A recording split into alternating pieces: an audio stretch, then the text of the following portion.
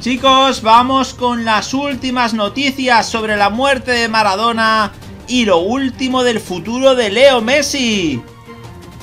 ¡Vamos a ello!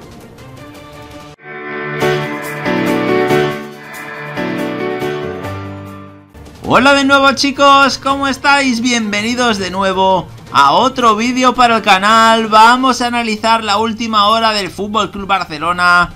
Vamos a ver varias noticias, por tanto te animamos a que te quedes hasta el final del vídeo y a que nos dejes un buen like. Vamos sin más dilación chicos, a analizar la primera noticia y es que el United está presionando al Barça por Ousmane Dembélé. El francés termina contrato con el Barça en junio de 2022 y todavía no ha renovado. El club intentó el verano pasado atar al extremo y le ofreció renovar, pero el ex del Borussia Dortmund se negó y rechazó las propuestas que le llegaron. Ahora mismo en el Barça tienen la impresión de que el de Vernon no quiere ampliar su vinculación con los culés y que está esperando a 2022 para irse gratis. Ese miedo es un arma que van a usar todos los equipos que quieran hacerse con el galo este verano si llega el final de temporada y el delantero sigue sin renovar, algo que a día de hoy es muy probable, solo le quedará un año de contrato por delante. En otras palabras, los Blaugrana estarán ante la última ocasión para hacer caja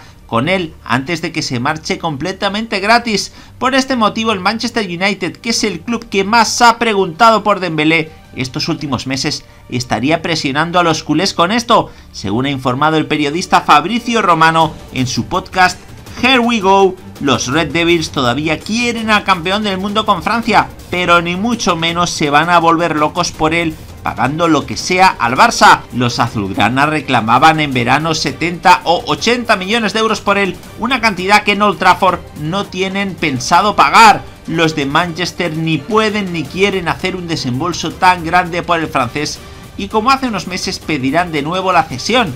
Una operación que en el club culé no ven con buenos ojos ya que en 2021 solo le quedará un año de contrato y solo se podría ir cedido si renovara al menos una campaña. Si Ousmane Dembélé no amplía su contrato hasta 2023, algo que no parece que vaya a suceder hoy por hoy, el Barça no puede cederlo porque se iría gratis justo después del préstamo. En el United lo saben, pero aún y así es lo que están pidiendo.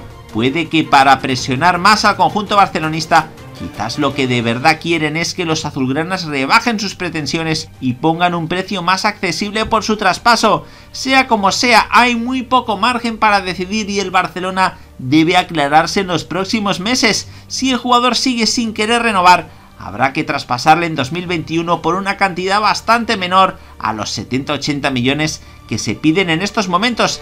Ahí es donde de verdad podría entrar el United que tiene marcado en rojo el nombre del extremo de Vernon, por tanto sigue el interés del Manchester United por Dembélé. Vamos a ver chicos cómo está el tema de la lesión de Gerard Piqué y es que por lo visto el central evitará el quirófano. La derrota ante el Atlético de Madrid en el Wanda Metropolitano trajo otra dura noticia. La lesión de Piqué ha hecho saltar las alarmas en Can Barça, puesto que el futbolista estará varios meses de baja después de estudiar su rotura del ligamento lateral interno y el ligamento cruzado anterior de la pierna derecha. El jugador acudió el pasado miércoles, como informó AS, a ver al doctor Ramón Cugat para valorar la mejor opción, es decir, si pasar por el quirófano o no. Cataluña Radio ha indicado este jueves que el defensa ha tomado la decisión de no someterse a una cirugía, de modo que hará frente a la lesión a través de un tratamiento conservador.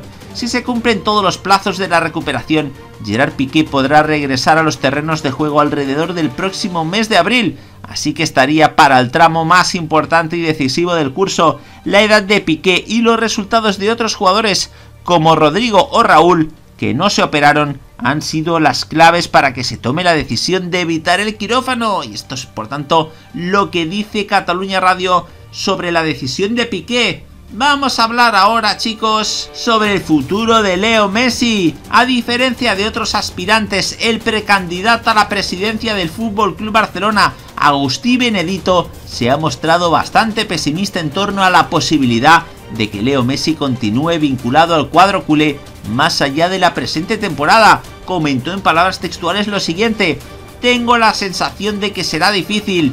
Él tiene decidido abandonar el club y lo ha manifestado públicamente. Fue muy fuerte escuchar a Messi decir que quería abandonar el Barça. Por cómo sucedió todo me pareció que fue una decisión muy reflexionada, de mucho calado y estratégica. Así que soy pesimista. A la nueva junta le costará mucho convencerlo, si es que está a tiempo de hacerlo cuando tome el cargo, pero Messi siempre será culé de alguna manera u otra y el Barça cumple el domingo 121 años de historia y tirará hacia adelante, explicó Benedito durante una entrevista concedida a EFE el precandidato también ha confirmado que en caso de resultar elegido apostará por la continuidad de Ronald Koeman. Dijo lo siguiente, cuando en 2015 parecía que Luis Enrique no iba a renovar, Pensamos que Kuman era el hombre que tenía que venir. Es una persona que conoce perfectamente la situación, algo muy difícil cuando sales a buscar candidatos para el banquillo del Barça. Es un mito y se está viendo que tiene las cosas muy claras. Nos dará resultado y apostará por la masía. Y le agradezco que haya decidido venir en estas condiciones. Por tanto, lo ve difícil el precandidato Agustín Benedito, la continuidad de Leo Messi. Vamos a hablar ahora, chicos, del resultado de la autopsia de Diego Armando Maradona y es que el argentino murió por causa de una insuficiencia cardíaca que le generó un edema agudo de pulmón y le provocó una muerte súbita, según informaron los médicos forenses que trabajaron sobre el cadáver durante algo más de dos horas de autopsia, según confirmaron fuentes judiciales a Infobae. Según comunicaron los responsables de la investigación, Maradona sufrió una insuficiencia cardíaca aguda en un paciente con una miocardiopatía dilatada, insuficiencia cardíaca congestiva crónica que generó edema agudo de pulmón. El fallecimiento se produjo en el mediodía del miércoles hora de Buenos Aires en la ciudad bonaerense de Tigre y su cuerpo fue revisado por un equipo de médicos forenses en la morgue de San Fernando después de que la Fiscalía General de San Isidro pidiera autorización para el examen de la familia, que lo permitió. Los investigadores abrieron una causa por averiguación de causales de muerte, después de que a las 13.20 de este miércoles recibieran el aviso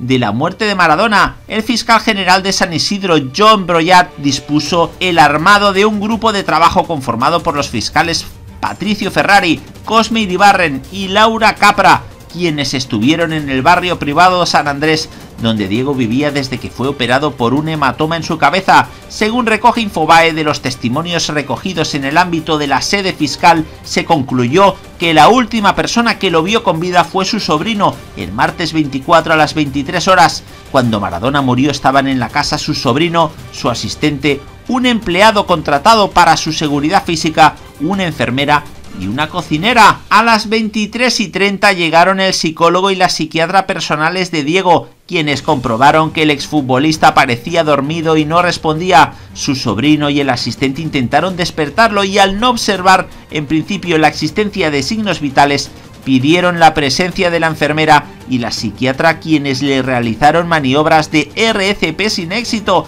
En ese momento pidieron ambulancias de distintas prestadoras y en ese lapso llegó un cirujano vecino del barrio quien también intentó maniobras de reanimación. Luego llegaron las ambulancias a cargo del médico clínico de la prestadora médica e intentaron revivirlo con ampollas de adrenalina y atropina, pero no lo lograron. Por tanto, chicos, estas son las causas de la muerte de Diego Armando Maradona. Nos gustaría saber vuestra opinión al respecto de cualquiera de estas noticias y que por favor nos la dejéis en los comentarios, justo debajo de este vídeo. Nada más por el momento, como siempre, animaros a dejar un buen like al vídeo, a suscribiros al canal si no lo habéis hecho y a darle a la campanita de notificaciones. ¡Hasta la próxima!